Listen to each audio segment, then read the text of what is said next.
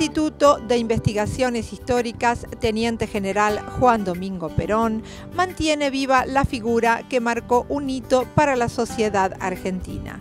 Dirigentes que participaron de esta historia y siguen apostando al desarrollo del país. Luchadores que trabajan por la dignidad del pueblo. Nos encontramos en el Instituto de Investigaciones Históricas Teniente General Perón. Vamos a hablar con su presidente, el señor Rubén Francisco Giovannini. Rubén, buenas noches, ¿cómo estás? Buenas noches, ¿cómo le va? Muy bien. Eh, el señor Giovannini además es secretario general de la Mesa Nacional de Jubilados, Pensionados y Retirados de la República Argentina. Así es. Muchos cargos, mucha lucha, los tiempos van cambiando. Sí, pero la lucha es vida. Quien no lucha no vive subsiste. La lucha siempre nos da un proyecto, ¿no? Por mejorar algo, por convertir eh, tal vez una utopía en un momento que se pueda hacer realidad. La lucha es un servicio. Es decir, eh, cuando uno lucha, lucha por una causa. Y esa causa tiene que tener un fin determinado que sea noble y justo. Y yo creo que no hay causa más noble y más justa que la lucha en defensa de los derechos de los jubilados, de los ancianos siempre eh, eh, abocado ¿no? a este trabajo de estar al lado de, los jubilados, de los pensionados, eh, Rubén. Y desde muy joven. Lo ayudé a mi padre cuando le era jubilado y ahora me toca defender a mis pares, porque yo también soy jubilado. Y fíjese que, que, ingratitud de la vida, ¿no? que de esto que yo le hablo, hace mi padre ya falleció hace muchos años, y estamos hablando del año 91, que hicimos una carpa frente a, a tribunales, Estamos en el 2014, hace 23 años, y todavía seguimos peleando por el mismo problema. La falta de respeto a los derechos constitucionales de las personas mayores. Eh, un país que no cuida a sus ancianos y no cuida a sus niños eh, no es un país en serio, ¿no? Eso lo dijo Francisco y yo comparto totalmente y por eso peleo para que, lucho, para que cambiemos las cosas. Porque el problema de la lucha del jubilado de hoy es el problema del jubilado del mañana. Y los jóvenes mañana van a llegar a jubilarse. Y si no luchamos nosotros hoy, van a tener que pelear ellos. ¿Los jóvenes tienen en cuenta que el día de mañana se van a jubilar? Creo que... Porque a veces el jubilado lo que necesitó fue compañía al lado, ¿no? Para esta lucha. Y en eso estamos, buscando que la Confederación General del Trabajo, que agrupa a los trabajadores de hoy, que son los jubilados del mañana, apoye esta lucha que venimos, reivindicatoria que venimos haciendo. Casualmente estamos por solicitar la sede de la CGT para un plenario de jubilados que permitan este, ese entronque que debe existir entre el jubilado activo y el jubilado pasivo. Este, digamos, el jubilado activo es el trabajador de hoy y el jubilado pasivo este, es el, jubilado, el trabajador de ayer. Y ambos este, reivindicar los derechos constitucionales, porque es ignominioso que para gozar de un derecho constitucional, un ciudadano, que antes que jubilado es ciudadano, tenga que hacer un juicio que realmente lo lleva a la muerte antes de poder gozar de que esa... nunca llegan a cobrar. No, no, es que aparte eh, hay un derecho que nos goza, que es una garantía constitucional, que es la movilidad en sus saberes, y eso está garantido por el artículo 14 bis de la Constitución Nacional. Y una garantía constitucional no puede ser discutible debe ser ejecutada inmediatamente. Por lo tanto, creo que la justicia está en falta con, con los jubilados. ¿Cómo es la lucha que llevan adelante ustedes, Rubén? Nosotros hace ocho años que estamos en una radio abierta frente a tribunales, reclamando a la Corte Suprema de Justicia que le ponga fin a la litigiosidad. Eh, no es posible que haya hecho un fallo donde si bien no reconoce el derecho, lo ha hecho para un solo jubilado, por supuesto, para poder llegar los demás jubilados a tener el derecho, tiene que esperar fallo. Las cámaras están este, abarrotadas de expedientes, que a veces me dicen son expedientes apilados. No, no son expedientes apilados. Son seres humanos, ciudadanos, que están esperando justicia y no la tienen. Sabemos cómo funciona la justicia. Directamente yo diría que hay una negación de justicia para las personas mayores, a tal punto que cuando llegan realmente a, a poder hacerse cargo o hacerse de lo que a él le han robado durante su vida. La mayoría, cuando tiene ese fallo y ya están el dinero para cobrarlo, el 70% ya está muerto. Y eso eh, no es justicia, eso es directamente genocidio, porque muchos de ellos este, mueren por la falta de posibilidad de medios para atender bien su salud, para comprar sus remedios, para comer dignamente. Y ese estrés y esa angustia los lleva a la muerte, más allá de su edad. Eh, ¿De qué va a tratar el plenario, Rubén?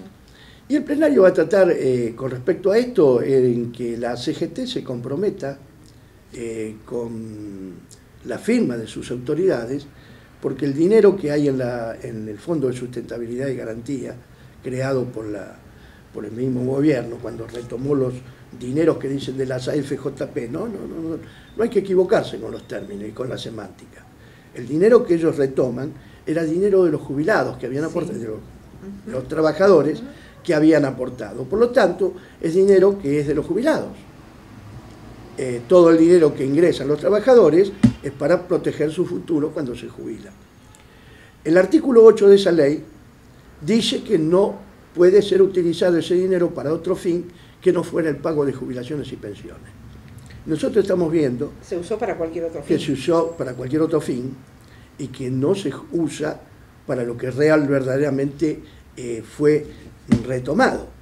Lo que quiere decir que al jubilado no le pagan lo que tienen que pagar y el dinero que está para, para eso lo utilizan para otros fines y muchas veces fines que, amenazan, claro, y aparte amenazan el vaciamiento de la, del sistema previsional.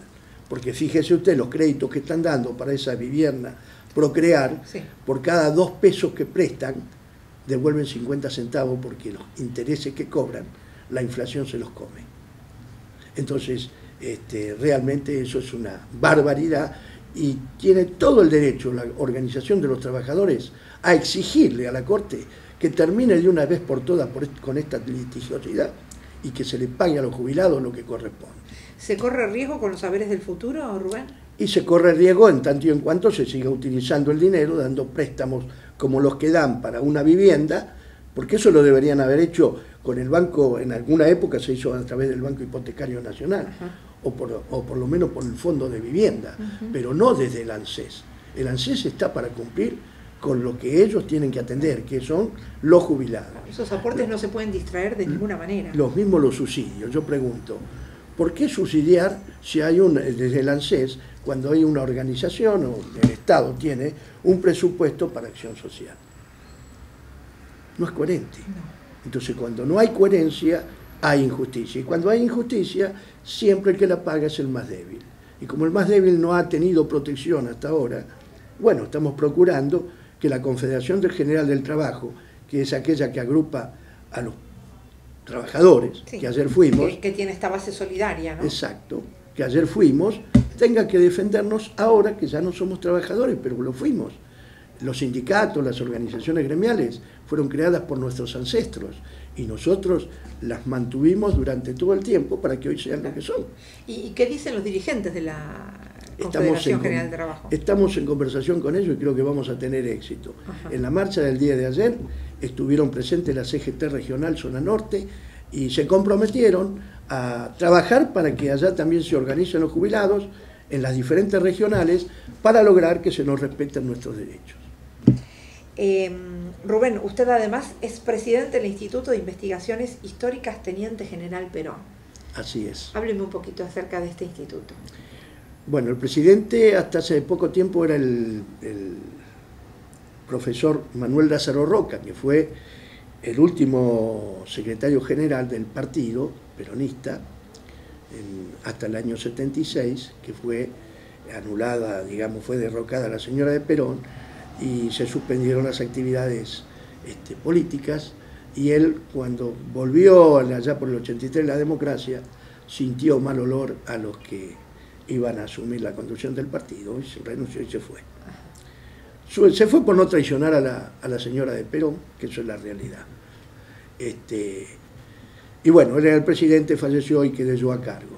Pero fue creado hace muchos años y tenemos una especie de museo, tenemos eh, una gran cantidad de discursos y bibliografía y, y, cosas de Perón que en muy pocos lugares lo va a conseguir usted.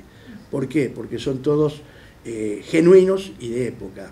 Todo lo que hay aquí son impresos por la presidencia de la Nación, desde el año 44, desde antes del 44, el libro, por ejemplo, Toponimia, eh, de, que es el de la Patagonia, que es el diccionario de la, de la lengua tehuelche, guaraucana y la lengua castellana, que hizo Perón para que los oficiales y suboficiales se entendieran con los soldados del sur que estaban destinados en los regimientos que ellos estaban, porque hablaban la lengua tehuelche o araucana y no hablaban el castellano. Entonces, para que se pudiera interpretar las órdenes, él hizo un diccionario especial para que pudiera haber una, un contacto, una comunicación y se conociera. Aquí se conservan muchas pertenencias del general Perón.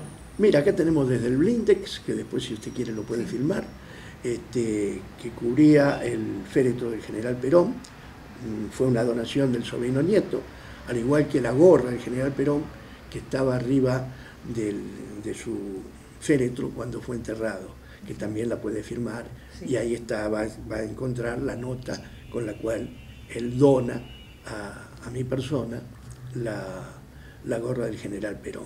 Y después tenemos una serie de cosas que usted puede, máquinas de la Fundación Eva Perón, almanaques de época, hasta sidra sin abrir de la fundación que se repartía. Tenemos muchas cosas. Eh, Rubén, una, trayectoria de lucha, un gran luchador, eh, siempre al lado de, la gente y del que más lo necesita. ¿Cómo ve el proyecto País? Veo que es muy oscuro todo, pero dicen que cuando tenemos fe eh, son los momentos en que Dios nos pone a prueba como pueblo y como luchadores. Y los hombres de fe son los que logran mover montañas. Y yo tengo fe en el futuro venturoso de mi patria, porque esa misma oscuridad estaba allá por el año 1816, cuando parecía todo perdido. Y sin embargo hubo hombres de fe que se animaron a declarar la independencia, hicieron de esto una nación. Por lo tanto, creo que hoy estamos en la misma situación la oscuridad lo envuelve todo, pero tenemos fe, fe de un cambio para que nuestra patria sea lo que realmente debe ser. Y, un verdadero luchador, la fe es lo último que pierde. Por supuesto. Eh, Rubén Giannini, gracias por habernos recibido, por haber estado aquí. Para nosotros fue un placer haberlo conocido y saber de este camino de lucha permanente.